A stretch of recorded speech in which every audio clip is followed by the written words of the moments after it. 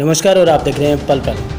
हरियाणा सरकार ने कल देर शाम को हरियाणा में एक बड़ा प्रशासनिक फेरबदल किया है। 20 आईएएस अधिकारियों के तबादले किए हैं तथा इनमें से दो मंडल कमिश्नर सहित आठ जिलों के उपायुक्तों को बदल दिया गया।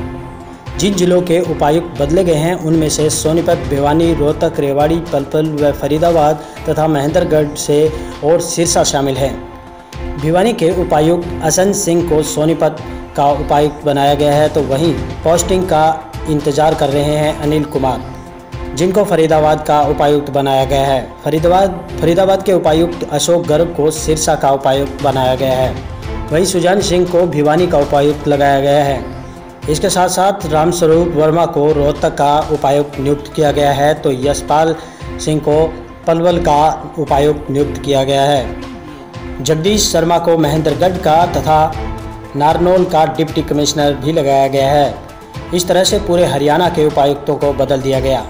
यानी पूरे 20 अधिकारियों के तबादले हुए हैं और ये पूरी प्रक्रिया देर शाम को हुई। इसी के साथ आप देख रहे हैं पल पल की एक खास रिपोर्ट।